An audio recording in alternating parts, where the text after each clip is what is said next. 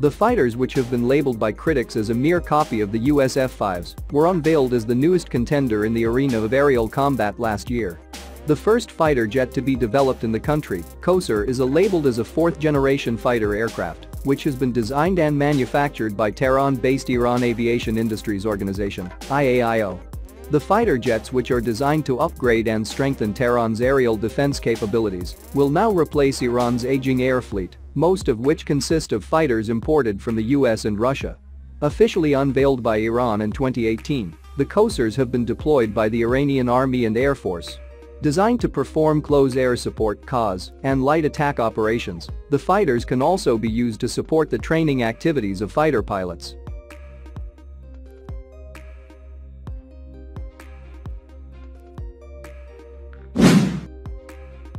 After years of instability in Iran's defense sector due to economic sanctions imposed by the United States following the Iranian Revolution in 1979, the development of the fighter jets is seen as a ray of light in the field of defense aviation.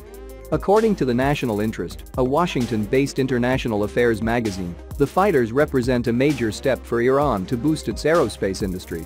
Kowsar jets Iran This isn't to say we will see an actual Iranian stealth fighter anytime soon. But if Iran can make their own engines, their own fuselages, and their own computer systems, it's only a matter of time until they field something that we will have to be worried about. Primarily based on the aging design of the US F-5 Tiger aircraft, the Kowsar boasts of an optimized airframe design to provide superior performance by reducing the drag caused by harsh winds.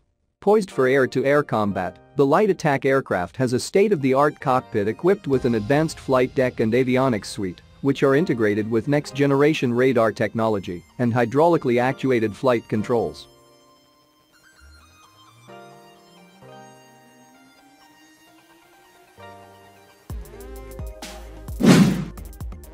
The fighter jet also comes with multiple hard points under the fuselage section and wings that can be armed with a range of weapon systems to enhance its firepower.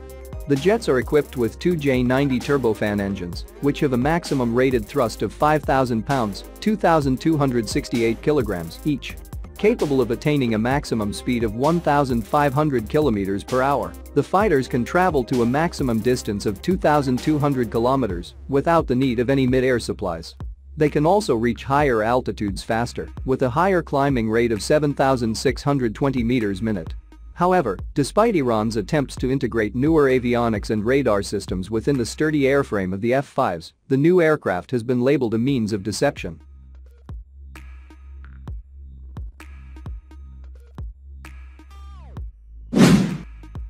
The United States Department of State's communication team had tweeted it seems that regime officials are not sufficiently familiar with the development of the aviation industry their plane is very similar to a fighter jet produced by the United States decades ago, and Iran has an old fleet of these planes. Deception is their favorite means. Justin Bronk, an aerial combat expert at the Royal United Services Institute, hints that the Kowsar aircraft is not the reboot of the US F-5, but a new system of avionics packed inside the F-5 as a placeholder.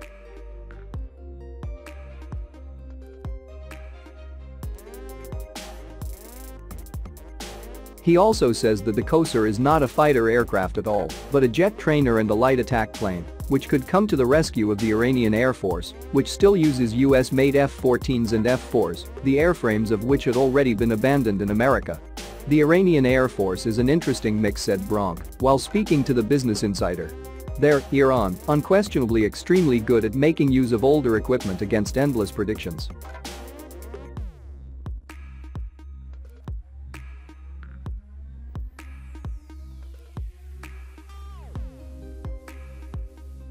Added Bronk. However, Bronk while lauding Iran's attempts to produce amid economical problems and US embargoes. Given the state of their economy and the embargoes, that is pretty impressive, said Bronk. Concluding the analysis, Iran's Kowsar jets are no F-35s or F-22 Raptors, but are lethal enough to create hassles for the invading forces.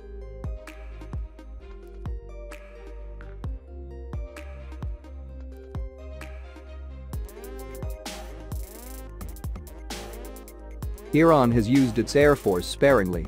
In contrast, the IRGC and its aerospace engineers led by Amir Hajizadeh have actually pioneered precision guidance for missiles and drones. This is a major threat, and it is where Iran has sought to do asymmetric warfare, building capabilities that can go around its enemies.